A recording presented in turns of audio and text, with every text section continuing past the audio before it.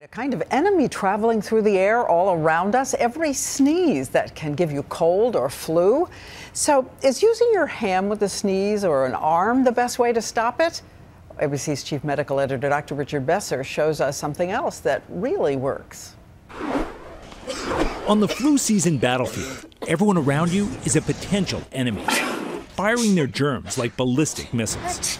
We set out to answer once and for all how can you best stop your sneezes and not get everyone around you sick? Is it with your hands or into your elbow? We put together a demonstration, laid down a long paper ruler, set up high speed cameras, and rinsed our mouths with food coloring so we could see where the sneezes landed. We put on protective suits to keep the dye off our clothes and did everything we could to incite a sneeze. I even sniffed cat hair off my producer's scarf. Very cat allergic.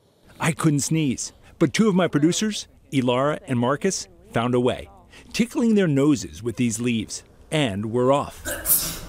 Round one Marcus plays the rude guy, sneezing without blocking at all. Look at that dye. We found a small part of it landing almost 11 feet away. Round two Ilara covers her mouth with her hands. Just like mom always said, she can't block it all, and some of it landed three and a half feet away. And look at all of that on Ilara's hands. Disgusting. Round three. What about that newer move we've been advised to use?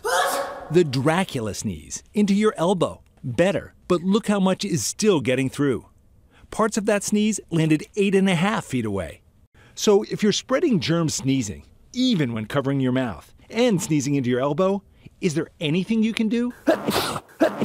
Grab a tissue. Believe it or not, with Marcus sneezing right into the tissue, we found nothing getting through.